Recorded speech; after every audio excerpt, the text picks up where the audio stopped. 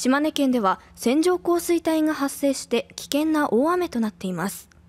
気象庁は線状降水帯による非常に激しい雨が降り続いているとして午前7時39分に島根県に対して顕著な大雨に関する情報を発表しました。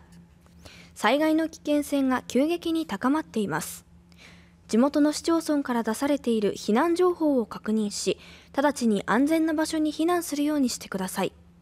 屋外へ出ることがかえって危険な場合は少しでも崖や沢から離れた建物や浸水しにくい高い場所に移動するなど身の安全を確保してください